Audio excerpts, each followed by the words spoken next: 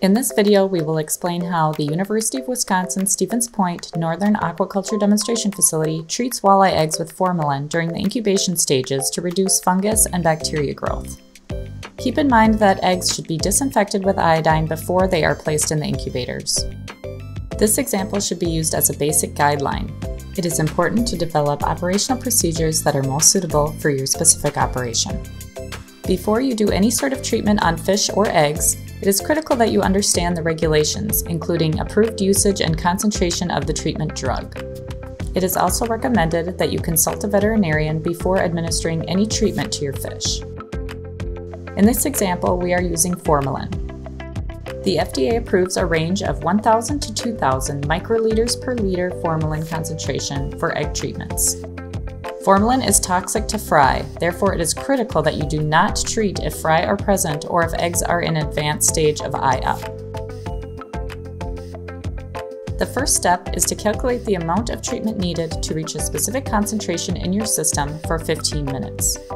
A great resource for determining this is the Fish Culture section of the American Fisheries Society.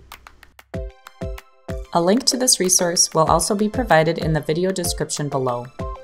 On the website, download the Treatment Calculator Excel file. Carefully follow the instructions in the spreadsheet, which will calculate the necessary volume of formalin needed for your system. We will be treating our bell jar incubation system, which is a flow-through system. Therefore, we start at the Flow-Through Treatments Start Here tab. For example, at NADF, we have a 75 gallon head tank that flows into various bell jars with a flow rate of 12 liters per minute. We can now move on to the formalin tab. The approved treatment duration for formalin is 15 minutes for treating fish eggs. The facility uses a concentration of 1,667 microliters per liter formalin. The spreadsheet calculated a volume of 0.5 liters of formalin to add initially to the head tank and 20 milliliters per minute during the treatment. 20 milliliters per minute for a 15 minute treatment is 300 milliliters total. Adding together the 0.5 liters and 0.3 liters gives us a total volume of 0.8 liters or 0.77 liters formalin needed. We can use the same Excel spreadsheet calculator for other treatments, such as hydrogen peroxide, to treat eggs. In the past, UWSP NADF has treated walleye eggs with either formalin or hydrogen peroxide. If hydrogen peroxide is used, we would use a concentration of 700 milligrams per liter for 15 minutes as a flow-through dosage. The calculator shows we would need a total volume of 318 milliliters of 35% peroxide dosed over a 15 minute period. Once you have calculated the volume of total treatment needed, you will need to have a way of dispersing the treatment into the head tank where it will be well mixed before flowing into the bell jars. For larger operations, a peristaltic pump may be utilized to distribute the treatment. For smaller operations, a chicken water is an easy and effective way to disperse the treatment over the 15 minutes. This is done by drilling a hole in the outer rim of the chicken waterer. According to the resource Introduction to Fish Health Management, a 16th inch hole in a chicken water delivers 946 milliliters of liquid in 15 minutes. Whether you utilize a 16th inch hole or slightly larger, it is critical that you test the water to determine the specific volume needed to disperse in 15 minutes through the size of the hole drilled.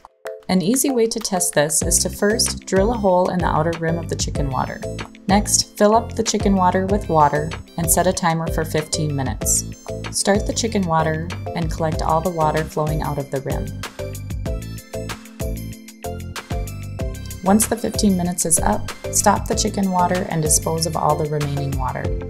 Pour the collected water back into the chicken water and mark the level.